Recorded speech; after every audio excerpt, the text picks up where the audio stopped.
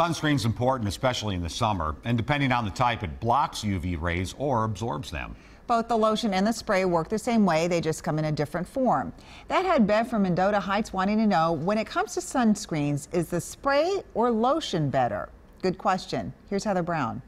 Are you wearing sunscreen today? I am. Always? Always. Yeah. Everybody? Yeah. Mm-hmm. That's awesome, you guys. But for the one person we kinda shamed. I never do. Is that bad?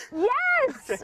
Everyone we talked with at the lake today was covered. I think spray is easier to put on. I use spray. Yeah, I use the lotion, but I think lotion covers better. what do you use on your kids? So I use all sorts of sunscreens. Dr. Liz Farhat is a dermatologist with Allina Health. Oh, I really like the lotion sunscreens, especially for the face. And then, you know, arms, legs, I, I use spray sunscreen on my kids because it's very easy to get on. She doesn't sit still to sit there and just wipe down her arms and her legs. It's much No easier. way! She's right. Is one better than another?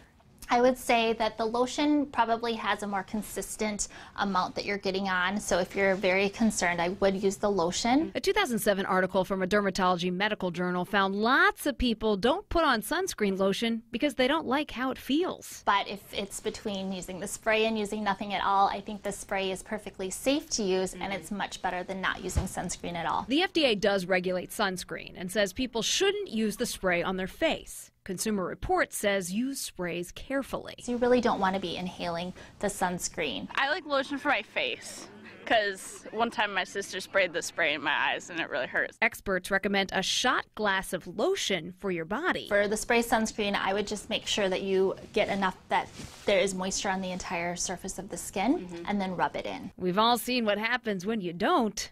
Check out this family in Florida. And when you go buy your sunscreen today, Okay. Heather Brown, I will get my spray on lotion. I'll have my buddies apply it. WCCO 4 News.